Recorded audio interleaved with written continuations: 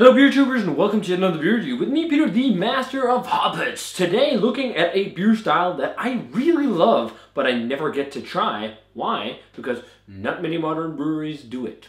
So it's Rauchbier guys. It's a Rauchbier time. I love Rauchbier. Uh, it's lager wise I think it's probably my favorite type of lager really. Maybe with Doppelbock I just love the smoky character on him.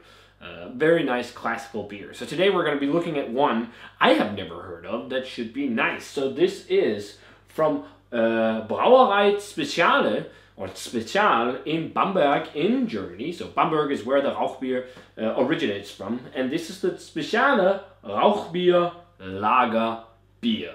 So it's a lager on 4.9%, but it's a Rauchbier. They do kind of like Schlenkerla, also like Märzens and different variants of Rauchbier.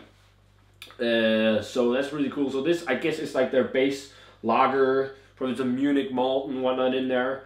Uh, yeah, something like something like that. It's a half a liter bottle, and I gotta give a thanks to my boss actually for this one, or boss slash brewmaster. Uh, I'm currently working at a brewery, helping getting uh, uh, it up and running. It's called Two Face Brewing, and you can find it on Facebook and Instagram and Twitter. So keep your eyes peeled. I do communications work and uh, kind of marketing work, but also lend a hand with uh, brewing and whatnot. It's really cool so far. So keep your eyes peeled for that, guys. If you want to follow along, just Google search Two Face Brewing on uh, both or Google search search for it on both uh, Instagram, Instagram, Twitter, and Facebook if you want to check it out. So should be really nice to try some off beer. Yeah, and again, thanks to Mario for for this bad boy. So because our brew, brew master is German. So this is a nice looking beer in the glass. It looks like you know. Oh, and also I get to use my UNM Lobos glass. I th- not the best beer for glass for tasting beer, but I love drinking Rauchbier out of mugs, especially my Lobos mugs, because I never use it. but it's awesome. It's awesome. I got it when I was studying in New Mexico. But yeah, this looks great in the glass. Nice, clear, amber color to it. That's pretty much it. Fine, soft carbonation. It looks like. And the head that was there was like huge and frothy, nice kind of slightly beige looking. It looked great pouring out into the glass. So without further ado, let's check out the aroma on that Speziale Rauchbier Lager beer. oh man, I takes me back. It takes me back to like the first time I had something like Schlenkerla Rauchbier, uh, der Märzen. Uh, it's made with beechwood, uh, beechwood, beechwood smoked malt and they also do some oak smoking, I think. But Beechwood smoke malt that they smoke in house themselves, uh, that they then use in the beer.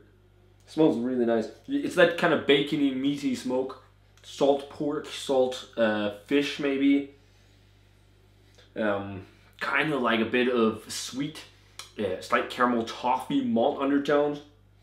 Cured sausage, cured meats in general. Think like uh, jamon from Spain or you're like, if we're talking German stuff, like Schwarzwälder Schinken. Give this one a taste. Cheers. And again, thanks to Mario for this one.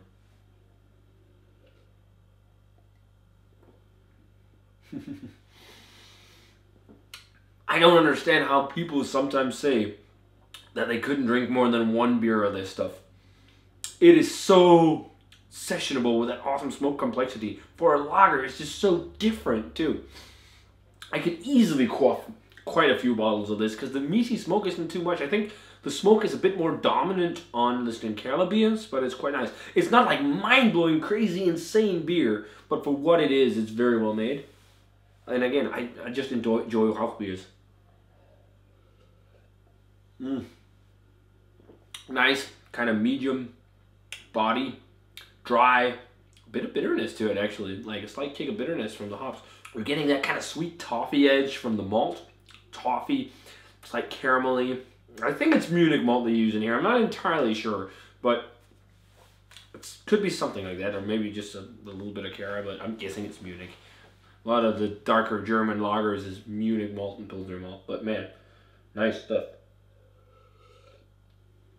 And of course, the smoke is there. the, the Beechwood smoke malt, the Rauchmalz, definitely shines through as well. You're getting that nice cured sausage, cured meats, uh, salt pork, sometimes bacony uh, smoke flavor. It's just it's such a unique smoke flavor, beet, uh, smoke flavor beechwood smoke malt gives compared to like oak smoke or yeah other smoke malts, peated malt as well. It's just because it's so meaty. And it's not mind-blowing beer. It's just an awesome traditional kind of beer style you just so rarely see. And I think I like this as much as the Schlenkerla Rauchbier Märzen, which I tried back in the day, which I gave a 90. And I will give this a 92. This is just so well brewed, uh, traditional stuff.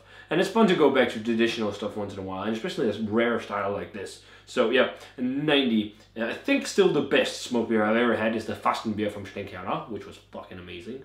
So hopefully I'll get to try I don't know in the future more stuff from these guys because sure is enjoyable stuff. So guys, if you've had a chance to try the Brauerei Spezial Rauchbier Lager, the lager they do, they do a few said. Let me know what you think of it, guys, and what's your thought on Rauch beers. I probably think uh, quite a few people don't enjoy them, but something like this, that's this balance with smoke and malt and whatnot, I could easily pound a few of these just because they're so nice.